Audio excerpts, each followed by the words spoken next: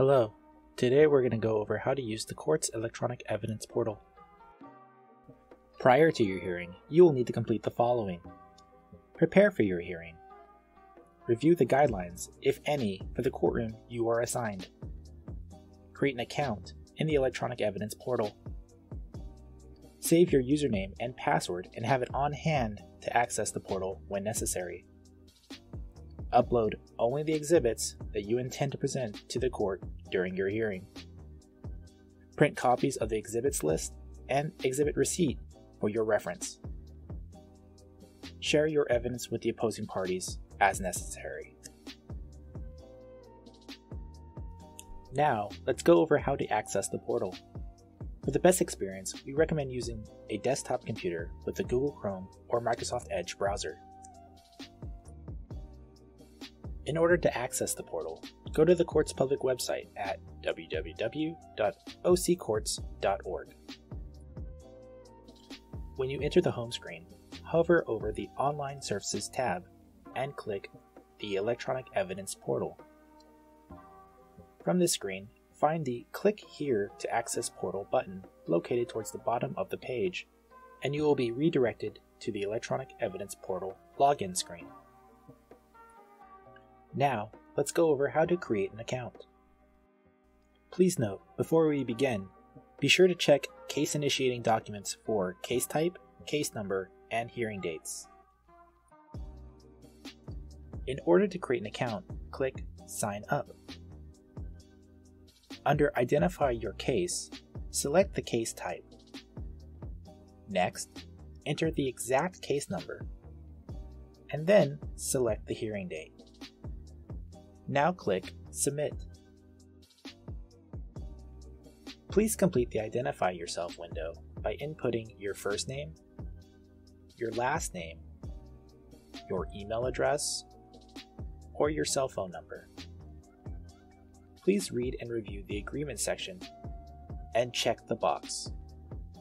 If you are providing a cell phone number, you should also review the cell phone agreement section as well. When you are finished, click Submit. Only an email or cell phone number is needed. However, if both are entered, the authentication code will be sent to the email address only. After clicking Submit, go to your email address, and you will see an email to confirm your account. Open the email, and then copy the confirmation code. If the activation key is not in your inbox, make sure to check the junk or spam folder to see if it was redirected there. Copy and paste the activation key from the email or cell phone, and then enter your desired password.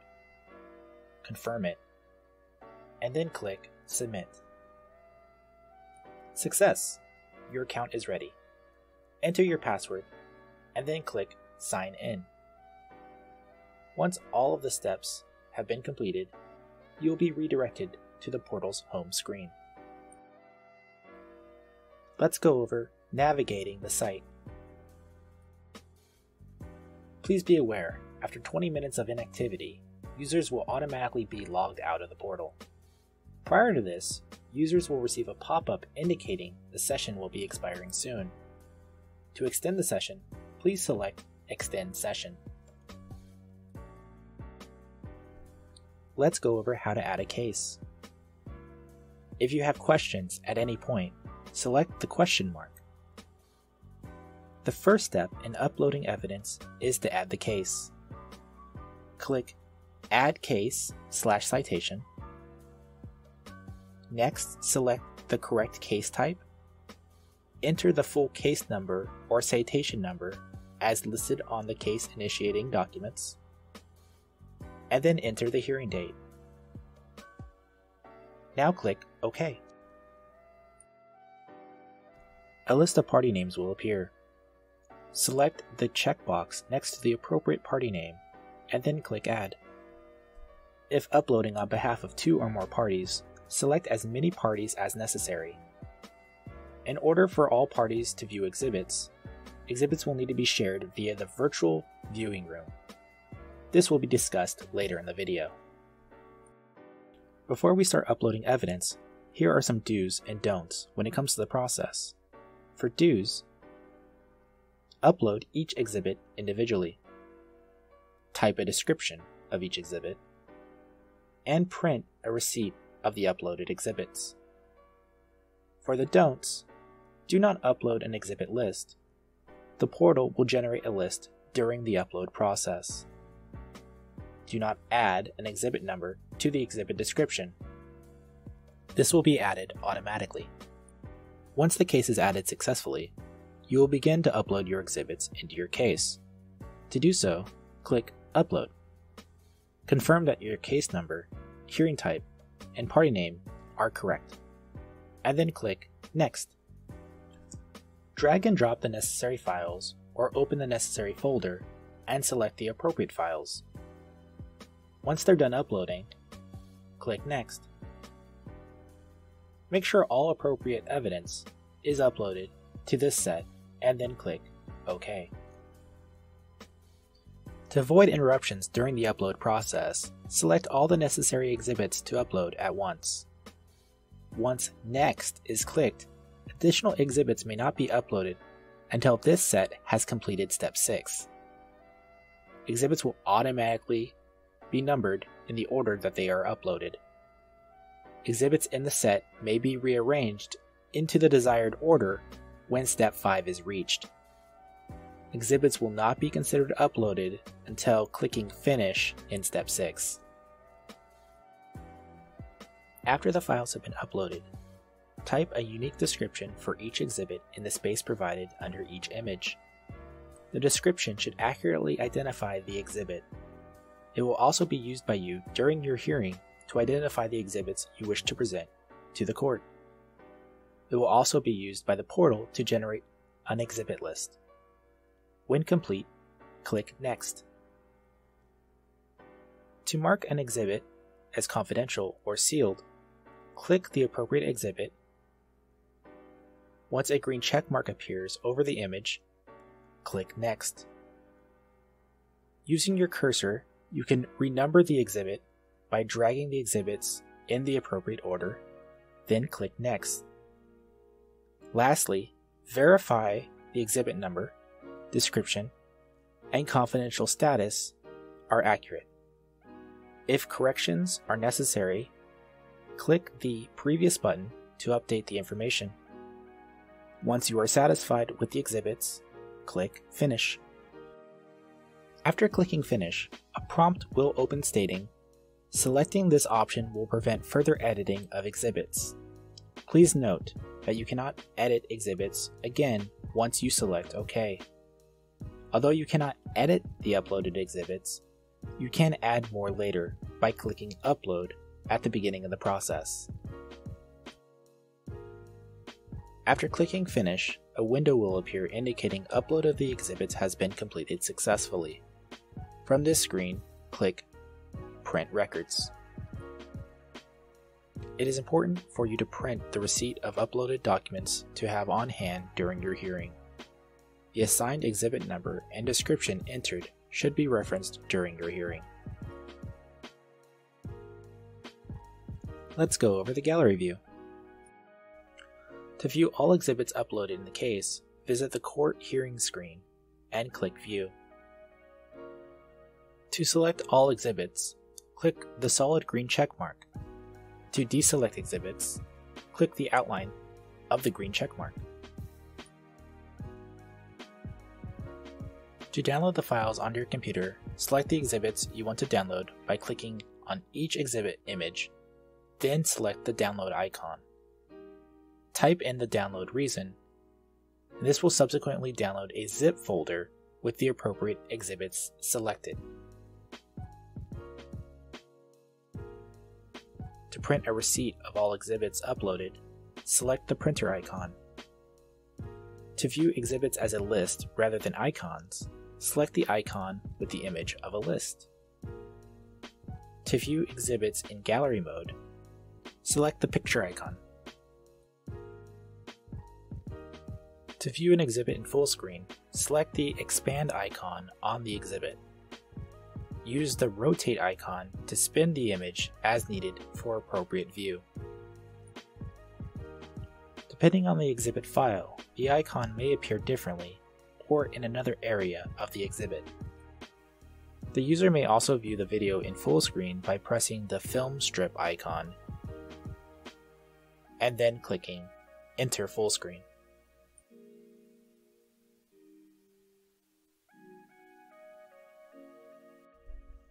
Now let's go over printing your exhibit list.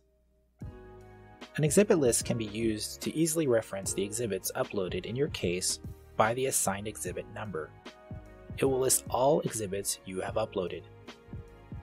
Bring a copy of the exhibit list to your hearing so you can reference the exhibit number when you present your evidence in court. To print the exhibit list, first click on the exhibit list icon. Depending on the kind of browser you are using, a PDF will generate either in the top right or bottom left of your screen. If you do not see it, it may have populated into a separate window. To print, select the print icon in the window that appears.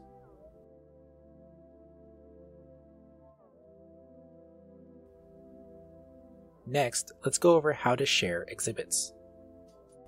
To share electronic exhibits uploaded to the portal with other parties on your case, use the Virtual Viewing Room feature. The first name, last name, and email address of the person the exhibits will be shared with are required. If the cell phone number of the party is available as well, it may also be entered.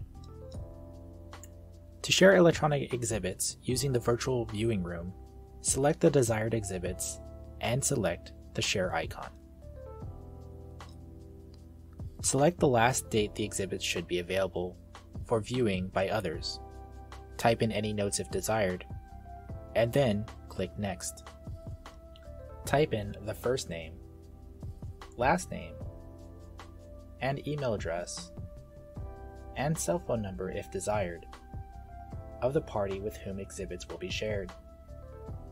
Select the toggle button next to cell phone or email under Authenticate Using to have the authentication PIN for the party to access the exhibits, sent to either the party's email or cell phone. Now click Add User. When you are finished, click Submit. An email with the link to the virtual viewing room will be shared to the party whose information was entered. An authentication PIN will also be sent. Parties must click the link they were sent and enter the PIN number to access the exhibits.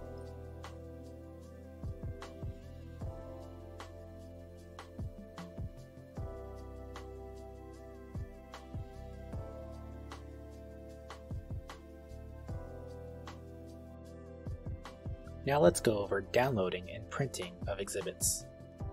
If the court requires printed copies of the exhibits with the case number and exhibit number, exhibits can be printed from the portal with a ribbon generated at the top of the exhibit. To place an electronic ribbon on the exhibits that will contain the case number and exhibit number, proceed with the following steps. First, select all exhibits that require the ribbon using the green check mark. Next, select the Generate Ribbon icon from the toolbar. A PDF of the exhibit will generate on the bottom left hand corner of your screen. Click to open the document. The PDF may also populate into a separate window. Verify a ribbon with the case number and exhibit number appears at the top of the exhibit. And finally, print the PDF if necessary.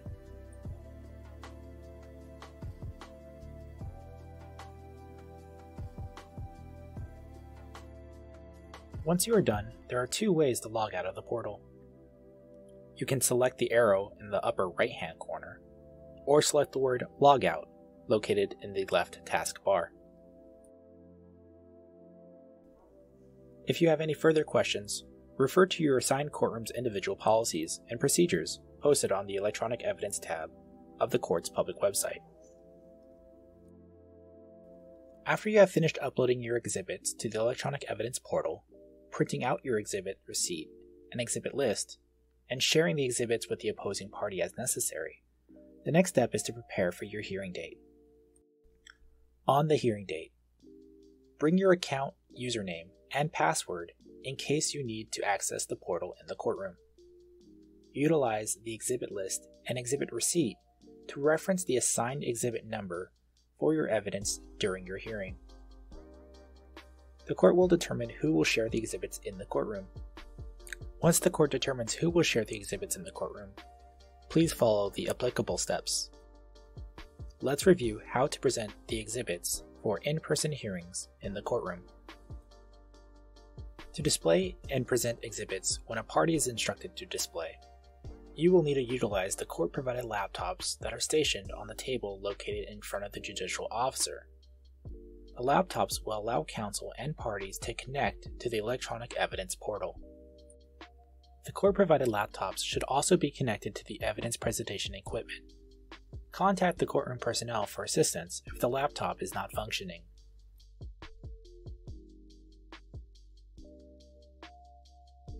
The evidence presentation equipment to present your exhibits from the laptop will be located in the middle of the table.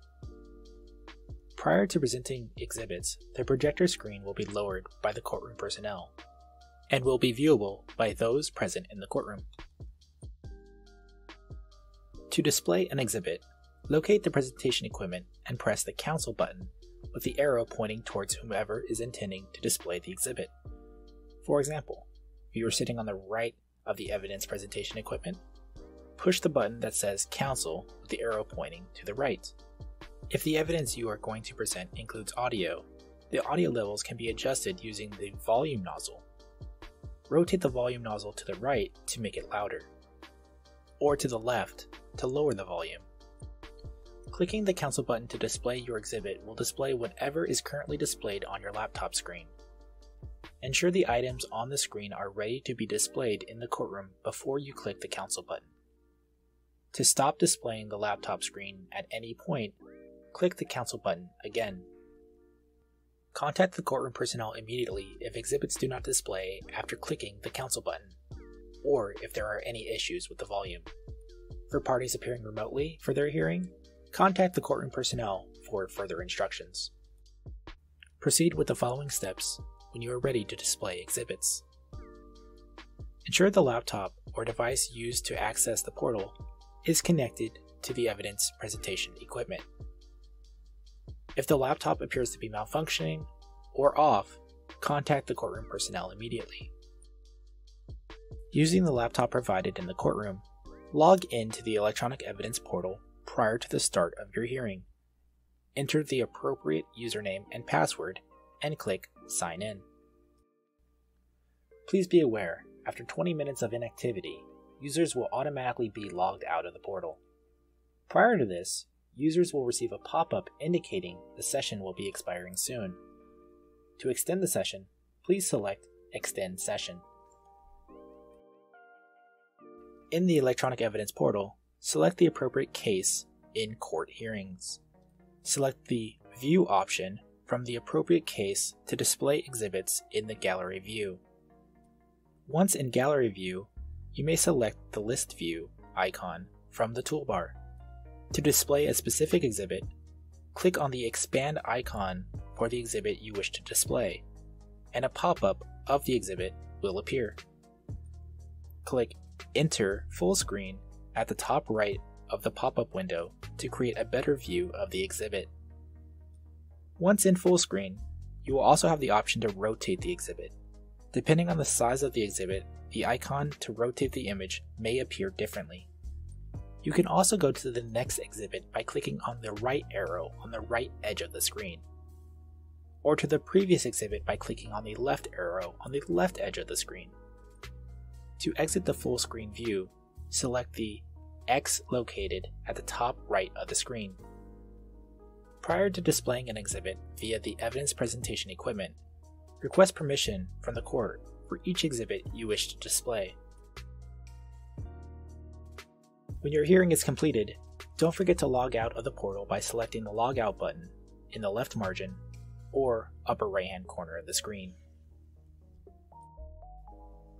Now, let's go over when displaying and presenting exhibits when the court displays on the party's behalf. Court provided laptops are stationed on the table located in front of the judicial officer. The laptops will allow counsel and parties to connect to the electronic evidence portal. After 20 minutes of inactivity, you will be logged out of the electronic evidence portal. Prior to this, you will receive a pop up indicating the session will be expiring soon. To extend the session, select Extend Session. Using the laptop provided in the courtroom, log in to the electronic evidence portal prior to the start of your hearing. Enter the appropriate username and password and click Sign In. In the electronic evidence portal, select the appropriate case in court hearings. Select the View option from the appropriate case to view exhibits in the gallery view. Navigating to the gallery will allow parties to follow along during their hearing and assist in directing the court in which exhibits the court will display on the party's behalf. Utilize the exhibit list and exhibit receipt and descriptions of exhibits as necessary to provide the court with the information regarding which exhibits need to be displayed. Once in Gallery View, you may select the List View icon from the toolbar. To view a specific exhibit, click on the expand icon of the exhibit you wish to view, and a pop-up of the exhibit will appear. Click Enter Full Screen at the top right of the pop-up window to create a better view of the exhibit. Once in full screen, you will also have the option to rotate the exhibit. Depending on the size of the exhibit, the icon to rotate the image may appear differently. You can also go to the next exhibit by clicking on the right arrow on the right edge of the screen or to the previous exhibit by clicking on the left arrow located on the left edge of the screen. To exit the full screen view, select the X located at the top right of the screen. When the hearing is concluded, log out of the portal by selecting the arrow in the upper right hand corner or the logout option on the left taskbar. If you have any further questions, refer to your assigned courtroom's individual policies and procedures posted on the Electronic Evidence tab of the court's public website. Thank you for watching.